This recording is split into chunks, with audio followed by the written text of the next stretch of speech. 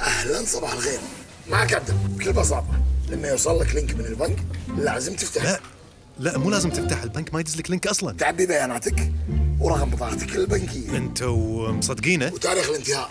وال CVV. لا لا كذي راح تنباق أنت تدري أن البنك ولا عمره راح يطلب منك أي بيانات أو معلومات مصرفية. عشان كذي احمي نفسك من الاحتيال اللي له عدة أشكال وأنواع. ولنكن على دراية.